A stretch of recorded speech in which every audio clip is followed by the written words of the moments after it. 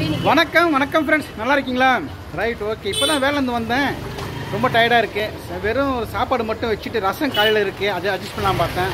ஊற்றி சாப்பிட்றது தான் வேணும் இல்லையா? குழம்பு கடை ஞாபகம் இருக்குங்களா? வத்த குழம்பு வாங்கி போய் நல்லா இருக்குன்னு இல்லையா? அதே தான் இன்றைக்கி வந்தால் தக்காளி தொக்கு இல்லைன்ட்டாங்க. கொஞ்சோண்டு இருக்குது அது ஃப்ரீயாக தரேன்ட்டார் அவர். எறா தொக்கு இருக்கான் இறா தொக்கு கொஞ்சம் வாங்கிட்டு. எங்கள் ஒய்ஃபுக்கு சாம்பார். எங்கள் செவ்வாய்க்கிழமை ஒய்ஃப் சாப்பிட மாட்டாங்க. அதுக்கோசரம் அவங்களுக்கு சாம்பார்.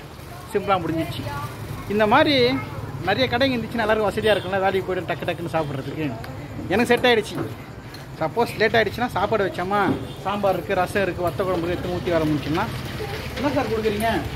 தக்காளி தொக்கு. தக்காளி தொக்கு. தக்காளி தொக்கு எறா தொக்கு. சாம்பார் இருக்கா? ஆ சாம்பார். சாம்பாரும் கொடுங்க அவ்வளோதான் ஒய்ஃபு சாம்பார் நாங்கள் தொக்கு.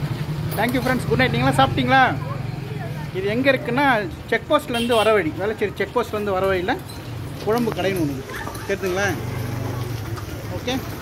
Thank you. Thank you friends. Bye. Take care. Good night.